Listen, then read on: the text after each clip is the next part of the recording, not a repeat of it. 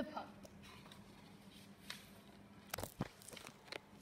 Pig was a Pug, and I'm sorry to say, he was greedy and selfish in most every way.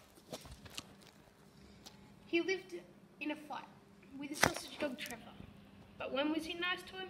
I'll tell you, never. You've got some great toys there, poor Trevor would say, but Pig would just grumble, they're mine, go away. But it might be more fun, said Trevor the Pig, if we both played together. Well, Pig flipped his wig.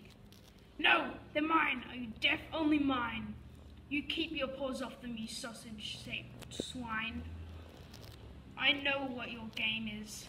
You want me to share. But I'll tell you, I'll never do that.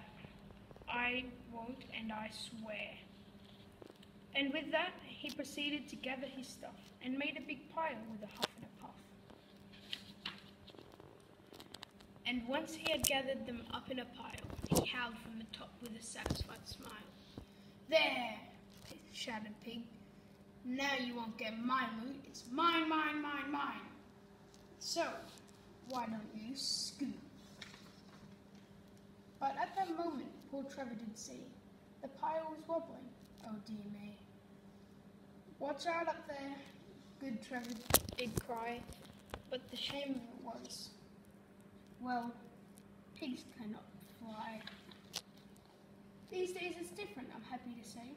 It's very different in most every way. Yes, Pig shares his toys now, and Trevor's his friend, and they both play together. Well, Pig's on the mend.